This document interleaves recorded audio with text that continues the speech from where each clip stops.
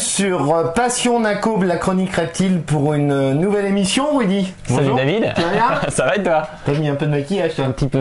Tu te trouvais J'étais bien un peu Moi je suis trop blanc. rouge, blanc, euh, voilà. On équilibre les couleurs. On équilibre les couleurs. Bon, la prochaine fois, il falloir que je mette du fond de teint. Puis la chemise. La chemise. La chemise, oui, de la classe, grande classe. Mais des baskets, euh, baskets chemise. Oui, mais assorti. Assorti. Je sais pas si on va aller voir, mais c'est assorti, c'est assorti. Rudy, euh, la dernière émission, enfin la dernière grosse bien, émission bien marché ensemble. sur les dendros, euh, qui a. super bien marché. Dendrobates. Dendrobat. Euh, Enfin voilà, on a vu d'après les commentaires que ça a plu. Euh, donc merci beaucoup euh, de tous ces encouragements. C'est vrai qu'on vous remercie, c'est un petit peu euh, ce qui nous fait plaisir parce que faut savoir que l'émission sur les dents de Drobat, c'est 5 heures de préparation euh, à parcourir les sites internet, écrire les articles, lire des livres, préparer tout ça. 5 heures de préparation. Le tournage, c'est environ euh, une heure d'installation pour les lumières, les caméras, Ouais, placées, etc. C'est 2 heures de montage parce que certes, c'est 30 minutes, 30-35 minutes d'enregistrement, mais derrière, il faut filmer dans les terrariums, etc. Et puis en termes de montage, c'est Et puis aussi une journée de préparation YouTube. une journée de préparation YouTube et puis c'est 5 heures de montage euh, en tout. Donc c'est vrai que ça fait beaucoup Ouais. beaucoup d'heures, mais on le fait par passion, par plaisir et puis on est très content que ça, ça vous plaise aux abonnés, que ça plaise aux abonnés de Passion Naco, de la chronique reptile. Euh, Rudy, euh, quelques critiques, qu'elles soient positives ou Oui, de négatives. toute façon, c'est avec les critiques qu'on avance. Avec les critiques qu'on avance, c'est aucun problème. c'est vrai que vous avez fait part euh, sur certaines vidéos de voir peut-être plus des animaux. Donc effectivement, on va faire, euh, on va essayer de montrer un peu plus de, peut-être en termes de manipulation selon certaines espèces. Après, il y a des espèces qu'on peut pas trop. Par exemple, Non. ce qui est Felzuma, c'est tellement petit et rapide que c'est pas facile à manipuler. Donc euh, euh, on en verra plus sur les serpents. Je sais que je traîne la patte, mais ça arrive. Je vais t'allumer après sur les serpents. Je sais, j'attends mon petit quart d'heure. Pareil sur la qualité de la vidéo, j'étais obligé quand on a monté la vidéo, on a été obligé de travailler, on a eu un petit problème technique de mémoire sur l'ordinateur, etc. Donc on a été obligé de baisser légèrement la qualité pour cette nouvelle vidéo. Comme j'ai dit l'autre fois, on va se détendre, on va se calmer. Euh, pour cette nouvelle vidéo, on va essayer de monter avec une meilleure qualité, de manière à ce que ceux qui ont l'Apple TV ou euh, Ouais, la Chromecast. euh, puissent regarder ça de bonne qualité sur l'ordinateur. Bah, normalement, c'est filmé en 1080, mais euh, il y a Ouais. eu un petit souci sur la vidéo d'Endro. Sur la vidéo des Dendro. Dendro. Les Dendro, il y a eu un petit Mais on va, on va réparer ça. Qu'est-ce que tu fais sur les serpents, Indiana Je t'ai dit, je t'ai je savais, je savais. En arrivant, je t'ai dit, je vais te tirer l'oreille sur les serpents. Non, sur les serpents, ça arrive. C'est vrai que j'ai été pas mal occupé euh, aussi sur les traitements des soins. Mon orthophile est toujours malade. Ça fait un mois et demi, c'est un petit peu la galère. Je sais, là, on, avec les vétos, on fait le tour. Euh, mais voilà, là, je suis en préparation sur une vidéo. Maintenant, il faut qu'on trouve comment la ramener chez toi. On est chez moi Pas de problème, je gère. Non, sinon, on le fera chez moi. Sinon, on le fera chez Rudy. De toute façon, je lui mets la pression. Même vous, je vous invite sur euh, YouTube ou sur Facebook à lui mettre la pression pour qu'il arrive un petit peu avec euh, ses serpents. Ça, Euh, ça arrive. Ça arrive. Ça arrive. Ça arrive. Tout Notamment, il y a un abonné qui m'a fait part. euh, je lui ai répondu, mais je le dis en, dans l'émission. On fera aussi une petite présentation en même temps comment manipuler avec le crochet. Ah oui, comment manipuler avec le crochet d'ailleurs Sans transition. Toujours. Mais Je crois que je l'ai noté dans mes fiches à la fin, mais c'est pas grave. Il y a déjà deux photos de déposées sur le profil Facebook de Passion Naco. Ben, ceux qui présentent un terrarium de Felzuma madagascariensis grandis. C'est un autre qui présente. Il s'est sauvé. Tu vois, Rudy, tu me plantes à chaque fois. J'en parlerai à la fin. C'est pas grave pour la peine. C'est une note à la Voilà. fin. C'est un serpent. Mais bon, n'hésitez pas à participer. Rudy va vous présenter, va vous, vous proposer une émission sur la manipulation avec ce fameux crochet. Amis. Ce David, faut qu'il se mette au serpent. hein. On va voir, on va voir, on va voir, on va voir. Me- Tranquille, tranquille. Euh, en ce qui me concerne, moi, sur Passion Nacob, je vous ai proposé une petite vidéo test de la ferme tropicale pour commander les grillons, euh, drosophiles, etc. De la commande à la réception, l'ouverture du colis. Et puis une deuxième petite vidéo que je vous ai euh, proposée entre les grosses émissions qu'on réalise avec Rudy de la chronique reptile euh, sur Exotic Factory où on a commandé un gros escargot d'Afrique. Euh, Rudy, les chaînes YouTube, on s'est fait euh, gronder par euh, Reptile France 95. Oui, Reptile 95. En fait, je avais- Reptile 95, j'ai noté France, mais c'est pas grave, décidément. Non, c'est vrai que je lui avais dit qu'effectivement dans la prochaine vidéo, je parlerai de sa chaîne. euh, mais comme les vidéos sont tournées d'avance, c'est pas qu'on vous oublie, c'est que des fois la vidéo est déjà faite et on a le message. euh, voilà, donc euh, je vous invite à regarder la chaîne de euh, Reptile 95, pas Reptile France 95, que je connais bien, avec qui je parle souvent. Euh, donc voilà, allez faire un petit tour sur sa chaîne c'est vraiment sympa. Il vous propose euh, des vidéos sur la maintenance des Pelusios castaneus. L'utilisation du F10, c'est quoi ça? C'est ce que j'utilise le F10, on pourra faire une vidéo, c'est pour désinfecter. C'est un super produit, euh, ça coûte, il me semble, 14,90€, mais moi je crois que j'en ai un, ça doit faire deux ans que je l'ai. D'accord. Euh, c'est un produit vétérinaire en fait que tu dilues dans l'eau et c'est euh, c'est magique. magique, d'accord, C'est d'accord. super génial. Mojave et puis il vous propose également des livres. Euh, donc avant de commencer notre mission plus particulièrement sur une nouvelle espèce, je vous invite à visiter un site internet, à consulter un site internet qui s'appelle Terrario Data. Il vous propose de, des petites fiches de maintenance. Nous on a trouvé pas mal d'informations sur la Dendrobat Tanctorius azureus. Je vous invite d'ailleurs à regarder notre dernière émission sur les Dendrobats si ça vous intéresse. Et puis sur la Chelidra serpentina, il y a des articles sympas. Dernièrement, il a fait un article sur euh, l'utilisation des imprimantes 3D pour euh, les carapaces de tortues, etc. Allez la visiter, ça vaut le coup. Je vous invite également, si vous habitez dans le sud de la France, à visiter la vallée des tortues qui vient de rouvrir ses portes euh, depuis peu. Euh, la vallée des tortues, oui, vas-y Rudy, je présente, présente. La vallée des tortues, c'est un parc où vous pouvez visiter de manière simple les installations et tout ce qui s'ensuit. Et puis c'est également, vous avez également la possibilité de visiter en privé ce qu'ils appellent en VIP euh, les coulisses de ce parc. Je l'ai fait cet été, ça vaut vraiment le détour. Vous vous approchez de tout ce qui est les tortues de Madagascar. Vous visitez, vous allez directement dans les enclos. Euh, J'ai même eu la chance, l'honneur et le plaisir de participer quand ils ont vidé le bassin des Chelidra serpentina et des Macrochemis teminki. Ça vaut vraiment le détour. Euh, si vous êtes en vacances dans cette euh, zone géographique du sud de la France ou si vous avez la chance d'y habiter, n'hésitez pas à y aller. Ça a rouvert depuis peu. Et notamment, je précise que je trouve que le prix d'entrée n'est pas extra, enfin c'est pas très très cher pour 12 euros l'adulte, ado 9 euros et enfant 8 euros. Je pense qu'on peut passer fait. une journée assez sympa. Bon, moi j'ai payé 50 euros l'entrée, mais c'est vous êtes accompagné, il y a des explications. Euh, ça vaut vraiment le coup également lorsque vous représentez à l'heure. Ça vaut vraiment. C'était le. VIP. La VIP. Ta belle veste. T'as vu une petite veste, un petit Petite truc veste VIP rouge, hein j'étais pas trop pour la Ah, il ose mais pas la montrer, mais je pense qu'il va vous la mettre dans la vidéo. si, si. Vous verrez si vous êtes sage. Ils m'ont expliqué que c'est parce qu'ils se faisaient gronder par les autres qui sont en heure de l'enclos en me disant pourquoi on n'y est pas. Enfin bon. Donc j'ai lâché prise, j'ai gardé euh, mon. Mais c'était sympa. C'était génial, c'était génial. Franchement, c'était vachement sympa. Foire aux questions. Comme t'as dit Rudy, on enregistre des émissions à l'avance, donc on a toujours un petit délai de Un retard. petit de temps de décalage, ouais. petite temps de décalage. Clem Reptile qui nous demande dans la dernière vidéo sur les dendrobats. 4 minutes 06, il me semble. Bien Oh, de tête. De Il fait tête. pas des vidéos sur les serpents, mais il retient 4 minutes 06. Et je réponds à tout le monde sur Ça, euh, c'est fait. Je précise. C'est un Felzuma Lineata Lineata. Euh, On n'a pas présenté encore. On l'a pas présenté encore, on l'a peut-être aperçu pendant le Reptiren, la vidéo présentation du Reptiren que vous pouvez également découvrir en dessous. On va avoir un souci, c'est que la caméra GoPro, on est dans les conditions du direct, vient de s'arrêter.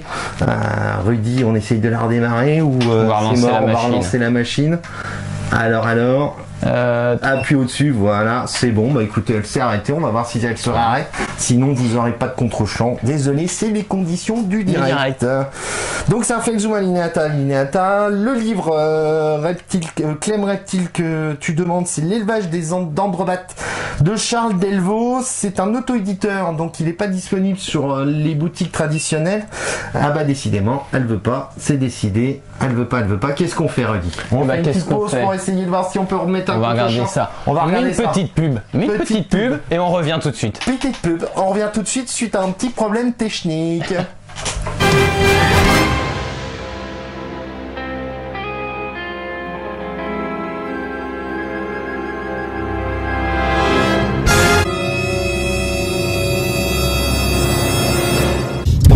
Peux te couper. peut- Oula la caméra comment elle a bougé. Euh, Déjà, si on com- commençons par le début. Euh... Un milkshake? Allez, un milkshake. hein. Un milkshake, un milkshake. Petit alinéa, poussière lorsque cela sèche. Alinéa euh, comme Ikea ou C'est pas alinéa... Oh, le fuel. J'ai fait rentrer 1000 litres de fuel. Cachette. Ca- Cachette. hein. Aujourd'hui, on a du mal. Je vous dis pas comment. Tu montreras? Je te montrerai. Et tu montreras aussi aux youtubeurs Au youtubeur. C'est peut-être plus nous raconter comment toi t'as procédé à tes. euh, tes- Non. Non, tu. Attends, je vais voir si la boulangerie est ouverte, je vais acheter du pain. réserves de graisse. Euh, Merci. Ah, il faudrait qu'on fasse un coup un mercredi. Je connais une boucherie là, sur Crenay qui. Oh, ça fait mal au crâne quand on prend trop. Essaye, prends un gros. Coupez tout. Donc deux Oula Deux Il va te tester Deux œufs youtubeur Donc- Vas-y, attends, comme je dis des fois à ma fille, fais le vide dans toi-même. Allez. Sujet, verbe, complément. C'est du basique. Lance-toi. Euh, ça me turlupine parce que c'est vrai que dans le Tur le pin. Bon bah nous voilà de retour avec un petit problème technique. Je suis pas sûr que la GoPro va nous assister jusqu'au bout. On verra bien. Hein. On C'est ce verra qui bien. donne le petit suspense. Le petit suspense, pour l'instant, elle tient, on a retiré l'écran, enfin on verra bien, c'est les conditions du direct. Faut se relancer après cette petite... Euh... Euh, petite pub, on parlait, j'allais te relancer du, donc, du Felzuma. Tu parlais du Felzuma. Felzuma Linata, oui, euh, bah écoutez, oui, on fera un reportage dessus, hein, sur ce Felzuma Linata, on a parlé du livre. On avait une autre question aussi concernant la cohabitation entre les différentes dendrobates, hein. Azuris, le commerce, etc. Normalement, c'est pas recommandé parce qu'il y a un risque d'hybridation. Donc, par contre, si vous euh, vous le faites, faut pas faire incuber les œufs, hein, c'est très mal vu. Moi, j'ai euh, les azus et les, les épipées de batte qui sont dans le même terrarium. Mais bon, euh, dans les règles de l'art, normalement, c'est pas recommandé, mais elles peuvent cohabiter sans aucun Problème. Problème, j'avais une autre question sur les 5 leucomélas dans le terrarium. Oui, c'est le maximum qu'on puisse mettre dans un terrarium. Après, bien sûr, faut connaître vos animaux. Si vous voyez qu'il y a une bagarre entre femelles ou entre euh, entre mâles, il faut les séparer bien évidemment, mais ça peut tenir sans aucun problème. On en reparlera d'ailleurs dans le dans notre euh, fiche maintenance de la de l'émission qui va suivre. Et puis un terrarium 45 45 60 au contraire, c'est parfait avec un petit peu de, de hauteur. Euh, les dendrobates se sentent bien et se sentent à l'aise au contraire. Et vous pouvez même les faire cohabiter avec euh, d'autres Felzuma, des choses comme ça. Le thème de l'émission, monsieur Rudy. Gecko léopard. Gecko léopard, il y en a qui disent gecko. Pas dire moi j'ai- je dis gecko. Je, moi aussi je dis gecko. je sais pas, je le dis à la française. Voilà. À la française. Euh, donc euh, les geckos, gecko léopard. Le Ça gecko, sera le thème d'aujourd'hui. Ce sera le thème d'aujourd'hui. Alors, les ouvrages qui ont été utilisés pour, euh, pour préparer cette émission, c'est le guide nature, je te laisse présenter. Petit point euh, bibliothèque. C'est le guide, alors je te laisse lire, c'est guide nature. Celui-ci, alors, donc c'est aux éditions Larousse, c'est le guide nature, donc c'est serpents, autres reptiles et amphibiens. C'est un- une association euh, dans l'Aube qui avait mis ça, qui était pas mal sur son groupe Facebook. Donc je l'ai acheté, c'est vrai que c'est pas mal pour, euh, pour identifier les différentes espèces. Un autre livre que j'ai également utilisé, c'est le Gecko Léopard Blepharis Macularius des éditions Animalia. Les guides reptiles mag. Ça c'est pas mal, c'est une petite approche. Pour Euh, 10 euros, c'est pas excessif, c'est Ouais, pas mal. c'est pas excessif, c'est pas mal. J'ai également utilisé, on a également utilisé pour cette émission un ouvrage, l'élevage. De Philippe Gérard, l'élevage du gecko léopard, Ça, ce bouquin est plus moyen, c'est plus simple, il doit être Ouais. plus ancien. euh, et à 12 euros. Il doit être plus ancien et bien Il sûr est plus ancien, ouais. la Bible. La Bible du euh, gecko du gecko léopard. euh, De son nom scientifique. Et elle nous Bon. a lâché. Et ben voilà, on va finir avec un seul plan ou celui-ci. Elle nous saoule, elle nous saoule, elle nous Bah saoule. du coup, c'est toi qui vas le présenter. Elle nous saoule cette GoPro pour avoir. Aujourd'hui, on a que des ennuis d'un point de vue technique. Il y aura des jours meilleurs d'un point de vue technique. C'est le Gecko Léopard par Olivier Antonini. Euh, c'est l'ouvrage de référence. C'est le spécialiste que j'appelle en France du du Gecko Léopard. Euh, Vous pouvez le retrouver euh, chez Reptiling à Lyon où euh, ils ont ouvert une nouvelle boutique. Oui. Vous pouvez également le retrouver sur le site associatif euh, Bébésaurus. Euh, c'est la référence, euh, la référence des ouvrages si vous voulez vous lancer dans l'élevage du gecko léopard. Et puis au niveau des sites de référence que vous pouvez trouver sur internet, vous avez euh, le site Ch'ti-Gecko qui est pas mal du tout et surtout le, le site internet de l'Ikura Gecko qui est vraiment très très bien fait au niveau de la prise en charge de la pathologie, des différentes maladies, de l'élevage, des phases. Je vous invite à aller visiter ce site-là. Et puis il y a toi pour les renseignements du gecko léopard. Et puis vous avez euh, le forum La Passion des Reptiles, bien évidemment, un des forums indéboulonnables de la toile. Et puis, euh, et puis voilà, le gecko léopard. Voilà pour la bibliothèque. Pour la C'est le bibliothèque. coin bibliothèque. On fera un petit coin bibliothèque Petit pour coin euh, bibliothèque, etc. À chaque, euh, à chaque vidéo, et comme tu dis toi-même. Voilà. Le gecko léopard. Règne animalier, embranchement chordata, classe reptilia, sous-classe Lepidosauria, ordre Squamata, sous-ordre Sauria, infraordre Gecota, famille Oblifaridae, genre Oblifaris, espèce Oblifaris macularius, mot compte Rien triple, compris. 600 points. Non, ça compte pas triple, euh, etc. On l'affiche de toute façon sur l'écran. C'est important si vous voulez préparer votre CDC de maîtriser un petit peu ces familles, sous-familles, espèces. Les noms latins, noms scientifiques, tout ça. Ouais, parce- chaque fois, ça doit être euh, noté. Ça doit être noté parce que c'est par rapport à ça que vous savez si c'est CDC, si c'est AOE, si c'est autorisation d'élevage d'agrément, si vous quelle quantité vous avez le droit d'avoir.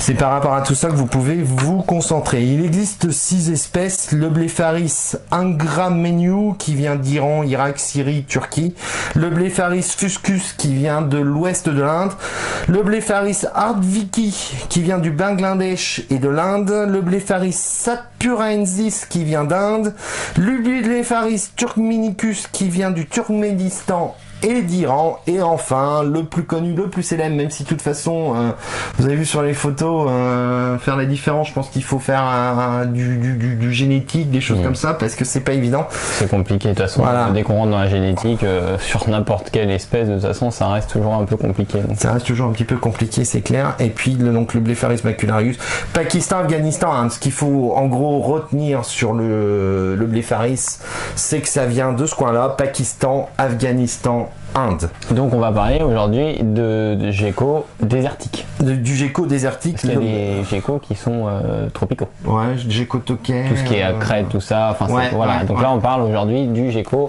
Désertique. désertique. Eublepharis. Le blépharis. Je- J'arrive jamais avec le nom. Je- Pourquoi Eublepharis Eh ben, je sais pas. Eublepharis, ça vient de Blepharis paupières. C'est un peu la spécificité euh, du gecko, euh, du gecko léopard, c'est que euh, il, euh, il a des paupières au niveau, au niveau de ses yeux. Ils sont euh, Ouais, verticales. Tu as envie de m'embêter toi aujourd'hui tu, tu, tu, Non, mais avec les caméras qui Donc plantent je vous annonce que Rudy, lors de la prochaine émission, vous dira dans quel sens sont verticales, horizontales, etc. En plus de l'émission sur les serpents qu'il doit vous présenter. Ça c'est fait. Allez, c'est bon. C'est fait, On on, passe à autre chose. Et puis surtout, la famille euh, des Eublepharidés, euh, c'est une absence de lamelles subdigitales adhésives permettant de grimper sur des surfaces lisses. C'est-à-dire que les autres, euh, les autres geckos peuvent grimper sur des surfaces. Le gecko ne peut pas grimper euh, comme le fond de Felzoum, on parlait tout à l'heure du Felzoum alinata, qui est encore autre chose, mais qui peut, ils peuvent grimper. Ben, Il y a des geckos qui peuvent grimper, mais celui-là plus spécifique, Spécifique. spécifiquement, plus spécifiquement, n'a pas de lamelle subdigitale. D'accord. La taille du gecko, léopard? 10, Ouais, 15. avec la queue plus. 10-15 Le mâle 25 cm, la Ah, femelle 20 cm. Euh, quelle est la spécificité à ton avis de ce gecko léopard par rapport à cette queue justement? Alors, Alors. je dirais, je suis pas spécialiste en gecko, mais je dirais il accumule sa graisse pour euh, l'hibernation. Déjà, ça c'est une chose, mais c'est surtout qu'il est capable d'autotomie. D'autotomie. Autotomie, ça te dit quelque chose? Attention, David va développer. C'est simplement qu'il peut, euh, pour euh, en période, en cas de stress et en cas d'agression par euh, par un ennemi ou par Prédateur, un, gecko, un prédateur, merci. C'est le terme que je cherchais. Tu lis le dictionnaire en ce moment tu... Et bah écoute, depuis la dernière fois qu'on a parlé du Larousse 2016, du, de Sur Drosoproof Drosoproof, j'ai cherché le mot, je me suis mis euh, à chercher. mis les- au, C'est ça. au- au dico. Bien évidemment, vous verrez en même temps pendant qu'on explique euh, des vidéos présentant les geckos dans le terrarium, dans leur univers naturel. Donc, le- il est capable d'autotomie, c'est-à-dire qu'après, euh, il peut laisser la queue sur place et après, il a une petite repousse légèrement boudinée qui réapparaît. euh, bon, elle n'est pas comme euh, comme au naturel, mais euh, ça repousse. Et euh, comme tu disais toi-même, la queue est une réserve de graisse, mais c'est pas seulement là. Contrairement à ce qu'on peut imaginer, euh, ça se situe surtout au niveau des lobes abdominaux. Enfin, ça se situe également au niveau des lobes abdominaux du euh, du gecko léopard. Nocturne, diurne Nocturne, d'après ce que je sais. il est nocturne, le gecko léopard, donc il a une acuité visuelle nocturne euh, pour, pour se promener la nuit. Heureusement, parce que s'il pouvait pas voir la nuit qu'il sort la nuit, euh, Ça serait un peu euh, emmêtant. Ce serait un peu embêtant. Faudra que tu fasses le test, une- euh, au moins qu'il ait une canne blanche, Du mais coup, bon. J'en conviens à dire. Tu en conviens J'emmène loin. J'emmène loin. Il en convient. J'en conviens. Merci d'en convenir. Emmène-moi Noir, vas-y. Euh, pas d'UV. Si c'est nocturne. Alors, pas de polémique surtout. Non, mais du coup, pas besoin. L'UV n'est pas. Si c'est nocturne. N'est pas nécessaire. Il va y avoir, on, on verra un petit peu plus tard, surtout les femelles gravides qui euh, vont arrêter de manger avant de pondre les œufs. Les femelles gravides peuvent être amenées à sortir le jour suite à la ponte, puisqu'elles se seront abstenues euh, de, de- manger, donc elles peuvent se sortir en plein jour. Mais sinon, non, les UV sont pas obligatoires. Mais ça, on va en reparler plus tard. C'est toujours le même système de toute manière de, de- complémenter euh, les proies que vous donnez, etc. C'est impératif de toute façon. Impératif, tout à fait. Euh, le gecko léopard, il darde sa langue. Ça, c'est dans l'ouvrage d'Olivier Antonini, d'ailleurs, que j'ai appris de l'expression darder sa langue pour goûter son environnement. Quand vous l'avez sur la main ou quand pour, pour savoir ce que c'est, il va, vous allez voir, il y a sa langue qui peut sortir pour aller Comme goûter. les serpents en fait qui serpents, viennent. euh, Tu me cherches avec tes serpents. oui. Tu me Mais cherches. ça, J'aimerais bien une un- petite vidéo. Ouais, ouais, C'est- moi aussi. On prépare un petit truc pour les serpents et David. Louis, c'est les petits trous que vous voyez souvent sur les côtés euh, de, de- de- de- du gecko léopard. Et puis au niveau du sexage, un grand classique. Le mâle, vous voyez des pores préanaux bien visibles. C'est ce qu'il y a euh, au-dessus. Et les renflements des poches hémipénis en dessous. Et puis les femelles ont des pores préanaux euh, à peine visibles. Donc les porcs fémoraux sont légèrement Fémoraux. en dessous en fait. Hein. Prenez un... Moi j'ai vu pré... pré... Bref. Préanaux, fémoraux. Le renflement des hémipénis c'est en dessous. C'est deux petites boules que vous avez en dessous en fait. C'est deux petites boules en dessous. Exactement. Voilà. Euh, c'est ça. Comme chez nous. T'as bossé ton anatomie, toi. Je m'intéresse à l'anatomie. Je, je m'intéresse à l'anatomie. Espérance de vie, Rudy. 10 ans Chez un non-fumeur, ouais, un géco non-fumeur, euh, 15-20 ans. Un géco qui fait un peu de 10, sport, 15, qui se 20 bat. du sport. Tu- Non, entre quoi 10-15 ans 10-15 ans jusqu'à 22 ans. Ok, hein, ça a déjà été vu, euh, ce type. euh, Si c'est bien euh, entretenu à la maison, bien- complément. euh, Ouais, ouais, ouais. Parce que en captivité, les animaux sont censés vivre plus longtemps. En captivité, ouais, c'est censé vivre plus longtemps. Euh, euh, donc voilà. L'habitat, comme tu le disais toi-même, Désertique. Désertique, subdésertique, milieu accidenté avec végétation légère, euh, il faut des cachettes et euh, il y a déjà des espèces qui peuvent vivre jusqu'à plus de 2500 mètres d'altitude.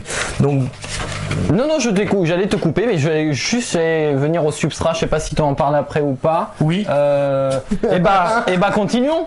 oui, oui, j'en parle Il y a après. une pe- petite polémique sur le sable au niveau des lézards, donc on va. Ouais, la polémique. On va continuer, du jour, ça va être, ça va être ça. Comportement, euh, bah, il faut dans un terrarium, euh, ces missions besoin de, jouer les cadors. Un mâle dominant, des subadultes et des femelles. C'est un animal, ce qu'on appelle un animal grégaire. Donc euh, est, c'est un seul mâle, sinon c'est bagarre générale. Bien évidemment, classique quand vous manipulez euh, ce genre de euh, spécimen, ce genre d'espèce, euh, faut pas faire comme on a fait pour les tortues l'autre fois. Il faut se laver les mains avant, après. Euh, clinogel ou hydroalcoolique. Des gants en Euh, latex. Enfin, moi, je pense souvent des gants pour tout ce qui est. Aucune contrainte pendant la manipulation, c'est-à-dire que c'est là que vous avez un risque d'autotomie, c'est-à-dire que si vous essayez de le maintenir, de, le- de- de le serrer, etc., il va essayer, il va se débattre, il peut y avoir un risque léger de morsure et puis il va vous laisser la queue sur place, euh, donc faut surtout pas le, le, le contrainte euh, quand vous quand vous toute manipulez. d'une manière générale, tout reptile qu'on manipule, euh, à partir du moment où ils vont sentir une pression ou quelque chose qui sont pas libres, euh, même chez les serpents, c'est là que ça mord. Quoi. Ouais, c'est là que ça mord. Donc, faut vraiment les laisser. Et comme on l'expliquait, le léopard est un animal grégaire, c'est-à-dire qu'il supporte pas bien euh, d'être euh, d'être avec d'autres mâles. Il peut se poser un problème également euh, lorsque vous manipulez vos geckos mâles et que vous en manipulez un autre, lavez-vous les mains. C'est un peu le même principe, je crois que pour les serpents, quand vous avez manipulé les rats, il faut pas les remanipuler un serpent. Non, ça pique. Non. bah c'est pareil là, si vous manipulez un gecko léopard et que vous n'êtes pas lavé les mains avant d'aller manipuler un autre gecko léopard, D'accord, il y a risque il de. peut vous identifier à- au mâle et il y en a même qui vont encore plus loin lors- dans l'élevage des, euh, des geckos geckos. léopards, c'est-à-dire quand ils font un transfert de femelles de terrarium pour faire leur phase, etc. Ils font, ils donnent un bain à la femelle gecko léopard pour éviter que l'odeur du mâle soit sur la femelle et que le nouveau mâle euh, Il y a des risques qu'il attaque la femelle en Voilà. fait. je. Il y a des risques qu'il attaque la femelle. Euh, régime alimentaire, euh, Rudy, à ton avis Bah, euh... eh bah, dis donc, il y a l'autre caméra qui nous lâche. Non, c'est batterie faible, Ah, batterie 20%. faible. Euh, grillon, euh, petite blague, je pense. Tiens, Voilà, je vais alors lire ça c'est le régime alimentaire dans la... Ah, et il nous fait des fiches. Oh, qui est. C'est le régime alimentaire de la nature. Euh, bien sûr, pour tout ce qui est régime alimentaire, insectes, toujours à la taille adaptée de l'animal. Ouais. Pas des criquets comme ça ou des sauterelles euh, Ouais, c'est la Hein, première connerie que j'ai faite. Euh, je débutais, j'y suis allé on franco. donne toujours à taille adaptée. Euh, ouais. Ouais, on ça, ça, ça a entraîné à comment dirais-je un risque d'occlusion intestinale. On a frôlé le prolapsus. Bon, on est infirmier de formation, donc on a réussi à sauver cette petite gécotte. Euh, on a- J'assume totalement mes erreurs de terrariophile, comme je dis souvent, les terrariophiles qui, qui me disent j'ai jamais commis d'erreur. Bah, Ça n'existe pas, c'est pas possible. bah, faut les assumer, il faut savoir euh, en tenir rigueur. Donc, euh, sauterelle, grillon, blatte, euh, libellule. Pour ça, pour en trouver, je pense qu'on galère un peu. Euh, oui, vous galérez un peu, mais bon, ça c'est dans la nature qui trouve tout ça. Fourmillon, scorpion, Scorpion dans la nature, il mange araignée et petit lézard. petit lézard. Euh, bonne technique l'été, c'est de prendre un filet à papillon, d'aller dans les champs. Ouais, on connaît, on en connaît Encore euh, euh, plus nutritif. Et toujours le complément alimentaire. et toujours le complément alimentaire de toute manière comme on va en parler. En captivité, criquet, grillon, blatte, vermorios, ver de farine, larve de teigne de ruche et occasionnellement souriceau pour les femelles gravides. Gravide. Donc souriceau, euh, je pense, vu la taille d'un gecko, d'un ou deux jours maximum. je Ah oui, oui, oui, vraiment très. C'est pour les recharger en calcium, puisque pour faire les œufs, elles ont tapé dans leur réserve de calcium, donc elles ont besoin de ce Moi, genre je de sais que j'en donne euh, une fois par semaine. hein. Un petit souriceau, Ouais. un lézard, euh, ça fait pas de mal. Euh, de ruche, hein, c'est très riche en lipides, euh, donc pas plus de deux fois par mois, parce qu'il peut y avoir des complications derrière si vous donnez toujours ça. Euh, bien sûr, classique pour, euh, pour vos animaux, euh, bien nourrir les proies avec des légumes euh, frais et puis vitamines. Moi, je donne une fois par semaine. Une question de Monsieur Rudy Oui, non, je, je, je t'interromps, j'arrête pas de t'interrompre. hein. Mais vas-y, vas-y, vas-y. De toute façon, aujourd'hui, ça tombe en panne, il n'y a plus de batterie. Non, j'allais dire, euh, j'ai remarqué, parce qu'on parle toujours de calcium et tout ça, que d'habitude il faut les mettre dans les boîtes, mais euh, à la tienne, si je ne dis pas de bêtises, toi tu mets directement, enfin les geckos on peut mettre un petit pot, un petit récipient et on verse directement, directement, je vais y arriver, le calcium en fait. Ouais, tiens, je vais rayer ça nous- un petit peu il va plus nous mettre loin. une petite photo. David il va nous mettre une petite photo Petite dans photo, petite vidéo. Si la GoPro décide de fonctionner tout à l'heure lorsqu'on va refaire les, les prises de vue pour l'émission. Donc on peut euh, Ouais. disposer directement. Ça, c'est important de laisser en permanence à disposition cette petite coupelle de calcium euh, dans le terrarium. Souvent, euh, vous, vous pourrez voir peut-être la nuit ou euh, même le jour le gecko venir darder dans la coupelle de calcium. Ce qui est plutôt pratique. Ce qui est plutôt Les pogos le font aussi également. Les pogos le font. Moins, mais euh, ça marche. Enfin, moi je le fais chez moi, ça va. calcium dans une petite coupelle dans le terrarium c'est euh, mieux ou si vous avez des euh, on va voir sur sur l'élevage des racks vous prenez un bouchon de lait un bouchon de bouteille d'eau ou ce genre Mm. de choses et puis rouler jeunesse ils ont à disposition Sur Gecko Léopard, on peut trouver des super petites, euh, Ouais, des petites coupelles. des petites coupelles. la reproduction printemps-été la femelle pond 2 à 4 fois par an important la ponte des œufs se passe où sur Ellie Et ben, je dirais euh, dans la vermiculite, dans la vermiculite qui se trouve dans la boîte à mu dans la boîte à mu, parce que un gecko a besoin d'une boîte, euh, une boîte euh, vermiculite Humide. humide. en fait. Ouais. Avec de la vermiculite, ce genre de choses, pour qu'ils trouvent une source d'humidité à la fois pour faciliter la mue, mais également pour pondre. Donc, Et, important. euh, important. Et même des fois, si vos geckos sont pas contents de leur boîte à mue ou s'ils ont envie de changer d'emplacement, vos femelles vont aller pondre dans la gamelle d'eau et vont le recouvrir de sable. J'ai une gécotte, c'est une spécialiste. Elle me fait tout le temps ça. Elle aime pas sa boîte à mue, je sais pas pourquoi. J'ai même changé de boîte à mue, elle veut pas pondre dans la boîte à mue, elle va pondre dans la gamelle d'eau qu'elle remplit de sable. Génial, substrat, euh, c'est bien connu. Comme quoi, ils sont pas cons quand même. hein. Ouais, c'est bien connu, l'eau avec le sable, bactéries, t'es obligé de changer, enfin c'est euh, pénible, pénible, pénible, pénible, pénible. Euh, gestation 10 à 20 jours, le sexage, comment tu sais si t'as des mâles, des femelles dans ce que t'incubes euh, Euh, bonne question, ne faisant pas de repro de gecko. Est-ce que la température, comme les crocodiles, Ouais. ça change ou pas? Ouais, comme les crocodiles, tout à fait. Les serpents c'est pareil ou pas du tout? Non, euh, non. Euh, moi je sais que, enfin moi j'incube euh, parce que sur mon incubateur qui est très grand, j'ai euh, j'ai un variant thermique, j'ai 31 en haut, 30, 20, neuf et euh, j'ai jamais de. Non. De problème de ce côté-là C'est euh, mâle femelle, c'est mélangé, je peux pas savoir. Mais euh, D'accord. Bah, dans le domaine du gecko léopard, la température influe directement sur le sexage d'accord. de votre reproduction, sachant que mère nature est ce qu'elle est, donc euh, il peut y avoir quand même un petit souci. Incubation inférieure à 30 degrés, ça donne femelle. Incubation entre 30 et 33,5, ça donne mâle. Incubation supérieure à 33,5, ça donne des femelles.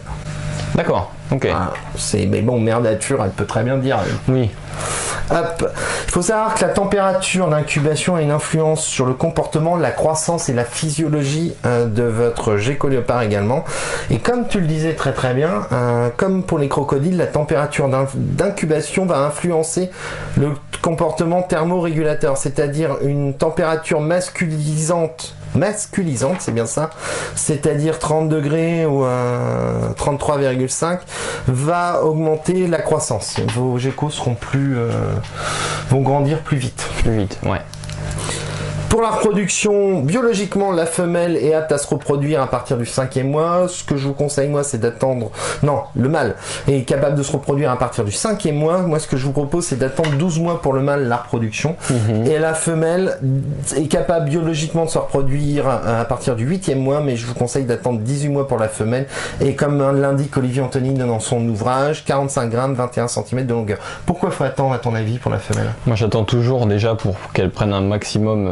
Euh, Enfin, je parle de elles, pas les geckos, mais mes autres espèces qui prennent un maximum de maturité euh, et de poids, euh, qui est moins de risque en fait de mortalité. Après, il y a peut-être d'autres raisons sur le gecko. Il y a ça, mais il y a également le fait que la femelle va taper dans sa réserve de graisse pour, euh, bah, pour, pour, pour ses œufs, va taper dans sa réserve de calcium pour ses œufs. Il y a un risque de rétention d'œufs. Enfin bon, voilà. Il y a tout, pour toutes ces raisons-là, il est préférable d'attendre un bon poids, le bon âge, d'avoir suivi leur évolution, de les, de les peser. Et là, vous pouvez vous lancer dans la, dans la reproduction. De toute façon, en terrario, ne jamais se presser. Ne jamais se presser. Prenez votre temps. Donc, euh, conséquence logique. On mélange pas les femelles et les mâles. euh, Oui. Vous pouvez les mélanger qu'à partir du 18e mois. Donc, faut bien les séparer si vous achetez des juvéniles ou des subadultes. Et puis, c'est seulement à partir du 18e mois que vous pouvez les mélanger dans le terrarium euh,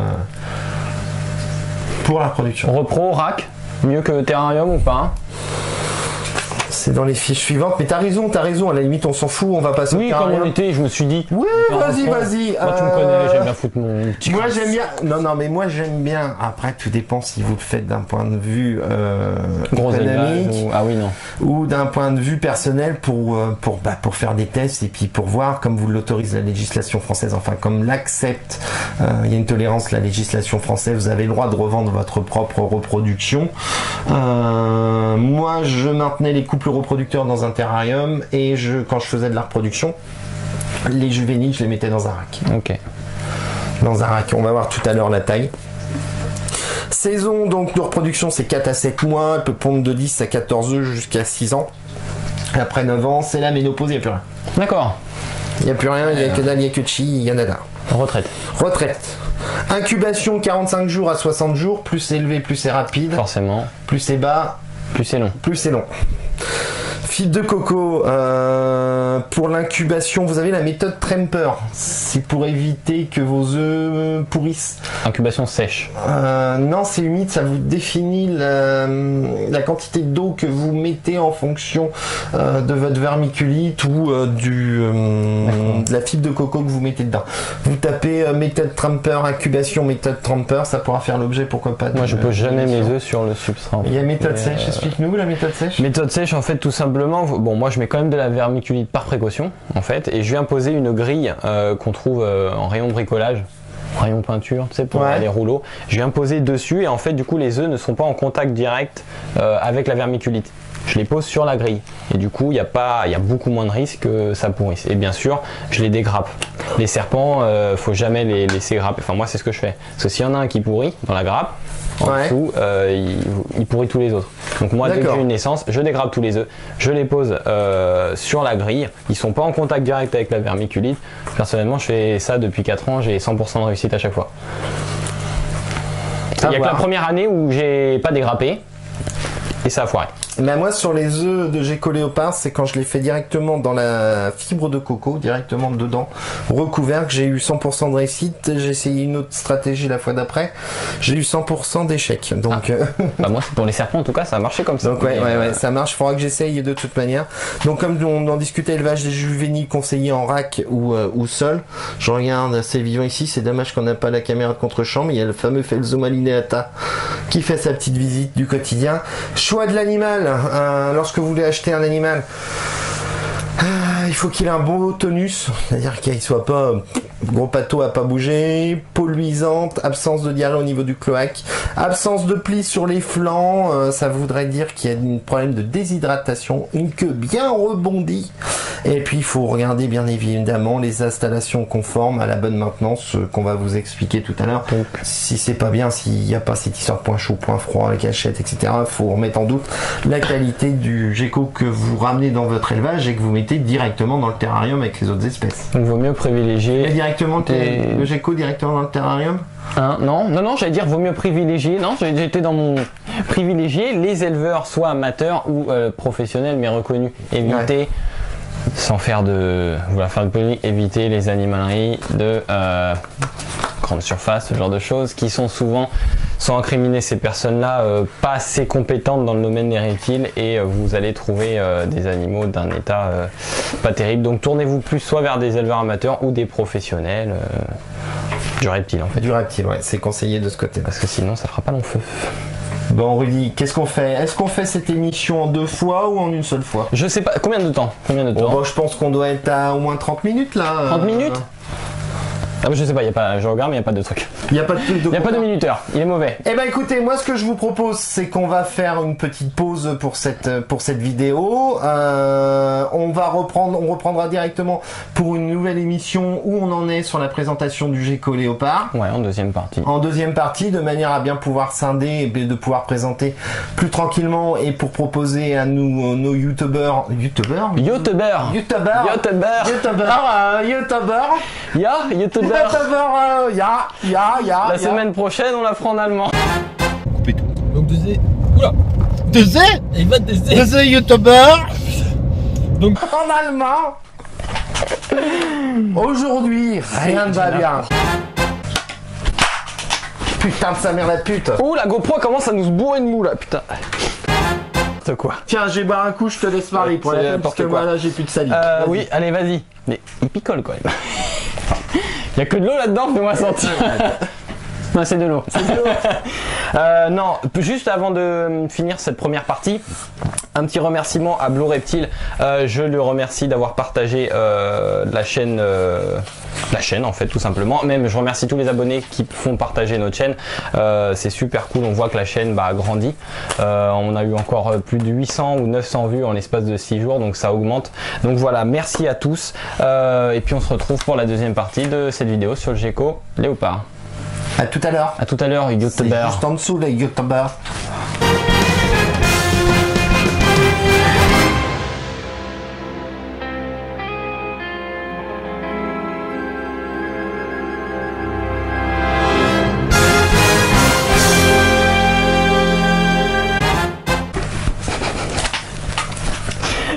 Youtubeur.